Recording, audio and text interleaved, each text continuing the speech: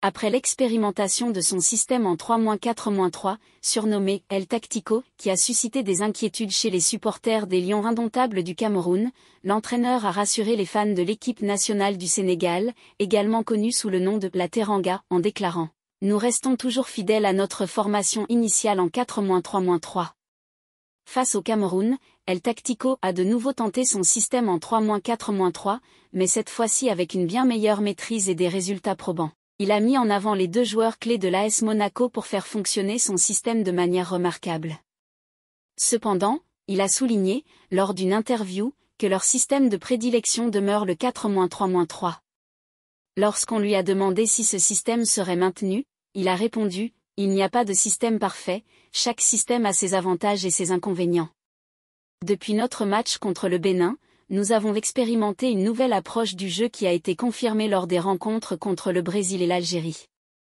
Nous cherchons à évoluer, mais je tiens à souligner que nous continuons de nous appuyer sur notre formation en 4-3-3, bien que nous ayons apporté des ajustements en termes de style de jeu.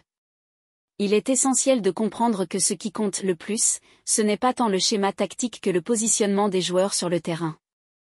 Je ne peux pas entrer dans les détails ici, car nos adversaires nous observent. Je sais que vous allez dire Kamoulgat, Dara, ne révèle rien, mais je préfère éviter de dévoiler trop d'informations lors de cette conférence de presse, a-t-il ajouté avec humour. Lorsqu'il a abordé la question de l'efficacité offensive, il a déclaré L'amélioration de notre attaque est notre principal défi. En football, il y a deux aspects essentiels, l'attaque pour marquer des buts et la défense. Jusqu'à présent, notre défense a été solide, sans encaisser de buts, ce qui est encourageant, car une bonne défense nous donne de meilleures chances de gagner. Cependant, en ce qui concerne notre jeu offensif, nous devons améliorer notre taux de conversion des occasions en but. Nous avons la capacité de marquer davantage de buts. Il est possible que nous devions être plus précis dans la finition et mieux choisir nos tirs, surtout en face du but. Dans ce match, nous aurions pu marquer plus de buts. Lorsque nous jouons contre des équipes qui se regroupent en défense, marquer devient plus difficile, mais une fois que nous ouvrons le score, les espaces s'ouvriront, et nous pourrons développer notre jeu.